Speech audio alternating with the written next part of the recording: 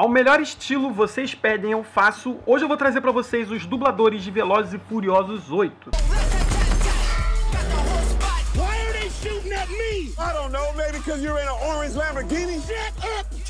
Sim, galerinha, vocês pediram no- nos comentários, inclusive nos comentários do Por Trás das Câmeras, que eu mostrei os bastidores do Velozes e Furiosos, e hoje eu vou apresentar pra vocês a lista de dubladores brasileiros do filme dos Velozes e Furiosos 8. Mas antes de começar o vídeo, eu queria pedir pra vocês esmagarem o like, que isso é muito importante pro comentário nerd, e se inscrever caso não seja inscrito. E um último aviso, eu não vou falar de todos os personagens, só dos principais, senão o vídeo vai ficar muito longo. Bom, o primeiro personagem que eu quero trazer pra vocês é o Dominic Toretto, né, que é o personagem vivido pelo Vin Diesel. Na minha opinião, o Dominic Toretto é melhor personagem, né, que o Vin Diesel já viveu nos cinemas. E no Brasil, a voz do Toretto foi eternizada pelo ator e dublador Jorge Lucas. Sim, cara, Jorge Lucas é figurinha marcada aqui nos nossos vídeos, né, mostrando os dubladores dos filmes que estão sendo lançados, por ser um dos maiores dubladores na ativa no Brasil. Ele já dublou o Hulk no primeiro Vingadores, já dublou Vin Diesel em outros filmes, já dublou Ben Affleck, Matt Damon, Ben Stiller e o Jamie Foxx. Porém, eu separei uma curiosidade aí pra vocês que eu ainda não tinha revelado. Ele dubla o Snoop Dogg. Sim, cara, o Snoop Dogg tem o hábito de fazer alguns filmes, ele fazia isso muito no passado. Inclusive, ele dublou o Snoop Dogg num filme que eu particularmente gosto muito, que é As Confusões num Lava Jato. Não, para. Tá bom. Que traíra. Esse filme volta e meia passa no SBT, então não é muito difícil de você ver. Bom, depois de falar do Dominic Toretto, agora vamos falar do Rubes. O Rubes é vivido pelo mito Dwayne Johnson, e no Brasil a sua voz foi feita pelo Jorge Vasconcelos. Jorge Vasconcelos é um gigante da dublagem, né? ele tem uma voz muito, muito interessante, é muito imponente, eu particularmente gosto muito. E ele fez duas grandes dublagens de dois grandes personagens de desenho. Uma foi a dublagem do Macaco Louco nas Meninas Superpoderosas, que era o meu personagem favorito das Meninas Superpoderosas, e a melhor dublagem dele, na minha opinião, é a dublagem do Boom de Fora, cara, na Vaca e o Frango. Como eu me amarrava naquele personagem. E ele era um personagem muito maneiro. Estou sendo oprimido. Ótimo! Com a sua ajuda eu serei o imperador do queijo. Pelo menos alguém acredita em mim.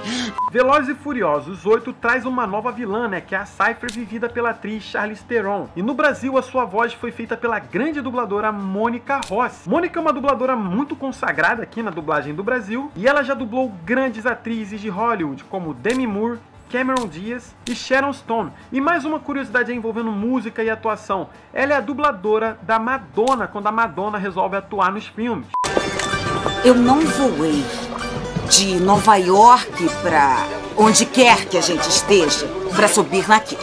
E uma última curiosidade aí, ela também dublou a personagem Diana na Caverna do Dragão. Se é a escuridão que queremos aqui, tem muita, não é? Ih, olha lá, gente! Uma personagem também que vem marcando muita presença nos filmes, envolvendo muito na trama, é a Letty, vivida pela atriz Michelle Rodrigues. E no Brasil, a sua voz foi feita pela Gabriela Bicalho. Gabriela Bicalho é mais uma grande dubladora, esse cast de dubladores foi muito bom, e além dela ser a principal voz né, da atriz Michelle Rodrigues, ela já dublou outras grandes atrizes. Porém, eu separei uma dublagem aí que vocês vão saber na hora como é que é a voz dela, que é a dublagem da Ashley Banks no Maluco no Pedaço. Ashley! Alguém desliga isso!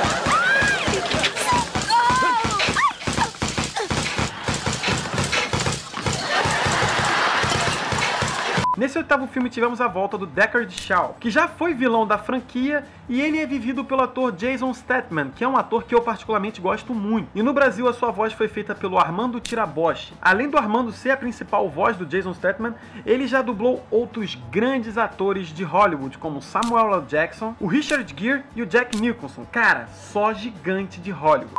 Você quer dançar? Eu estou pensando nisso desde que me convidou para sair. E?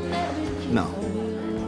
Um dos personagens que eu mais gostei desse oitavo filme foi o Roman, que é vivido pelo ator e rapper Tyrese Gibson. E ele faz parte né, da franquia do Velozes e Furiosos desde o segundo filme. E no Brasil, a voz dele no oitavo filme foi feita pelo Duda Ribeiro. Uma curiosidade, quando ele foi introduzido na franquia dos Velozes e Furiosos no segundo filme, que no Brasil se chamou Mais Velozes e Mais Furiosos, ele foi dublado pelo Guilherme Briggs. Ele ficou afastado dessa franquia até o quinto filme, e quando ele voltou no Velozes e Furiosos 5 Operação Rio, o Duda Ribeiro passou a dublar ele. Eu tentei pesquisar se teve alguma confusão, mas a princípio eu acho que foi uma mudança simples, eles só resolveram mudar a dublagem. E o Duda Ribeiro já dublou grandes atores de Hollywood, como Casey Affleck, né, que recentemente ganhou o Oscar, e o Brad Pitt. E uma última curiosidade é que ele já dublou algumas vezes o Vin Diesel, que ele fez a dublagem no Eclipse Mortal e no Resgate do Soldado Ryan, que é um puta filme.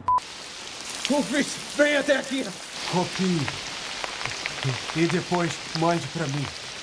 Tá, você mesmo vai mandar. Guarda isso. Outro personagem que vem marcando presença em vários filmes dessa franquia é o Tej, que é vivido pelo ator e rapper Ludacris. E no Brasil a sua voz é feita pelo Alexandre Moreno. Alexandre Moreno é mais um gigante da dublagem, é mais um que volta e meia marca presença porque ele já dublou vários personagens de filmes nerd. Eu gosto sempre de falar que ele dubla o mito de um dos maiores atores da minha vida, o Adam Sandler. Além do fato dele ter dublado Ben Stiller e o Steven Carell, ele já dublou vários outros personagens, eu poderia ficar aqui uma hora falando todas as dublagens dele. Porém, eu separei uma dublagem que eu quero trazer pra vocês aí que eu ainda não revelei, que ele é a voz do gato de botas nos filmes do Shrek. Se seguiram as minhas aventuras com a gança dourada, eu me encontrei numa encruzilhada.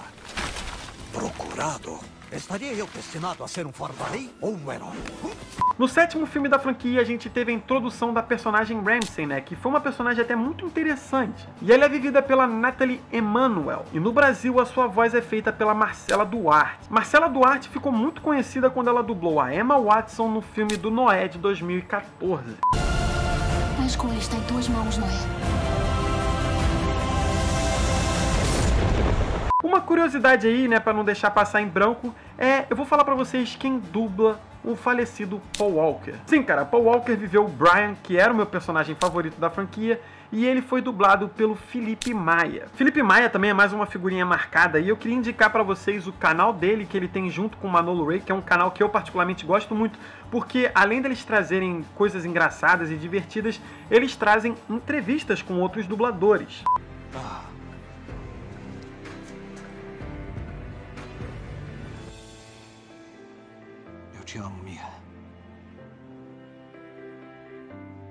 Não faz isso. O quê? O jeito como falou, como se fosse um adeus, fala outra coisa. Dá um beijo no Jack por mim. Então é isso, esse foi o Quem Dubla Velozes e Furiosos 8. Eu sei que ficaram faltando alguns personagens secundários, mas fica muito grande se eu falar de todos os personagens. Eu espero que vocês tenham gostado do vídeo. Não esqueçam de esmagar o like, que isso é muito importante pra gente, isso é muito importante. Comentar algum filme que você queira conhecer os dubladores. E também não se esqueçam da campanha do André, cara. A família dele está conseguindo chegar na metade do valor que eles precisam, mas ainda falta muito. É, se você não tem como ajudar financeiramente, você pode compartilhar a história dele nas suas redes sociais, porque vai que alguém que você conhece pode ajudar ele financeiramente. Por hoje é só, espero que vocês tenham gostado. Um abraço e até o próximo vídeo.